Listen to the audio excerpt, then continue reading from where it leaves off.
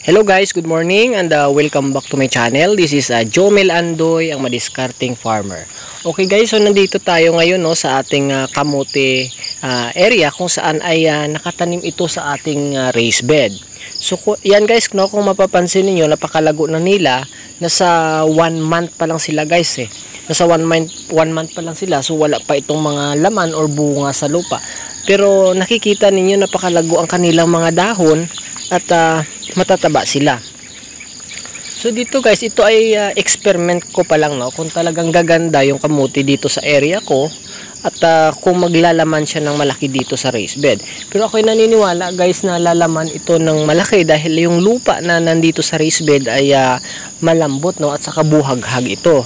Na siya namang na na gusto ng kamuti na uri ng lupa, yung mabuhaghag. So ito guys, hindi ako sigurado kung anong uh, variety ng kamuti ito. Pero ito po ay uh, kulay puti yung balat at uh, kulay dilaw yung uh, kanyang laman. So ayan guys, ay marami yan hanggang doon pa yan sa dulo. So ito po ay pinaparami ko ngayon dahil ito pong magiging mother plant ko. At uh, kuwanan ko ito ng cuttings na siya namang itatanim ko doon after sa eggplant plantation. Ayan, so nakakatuwa guys dahil uh, malalago sila. No?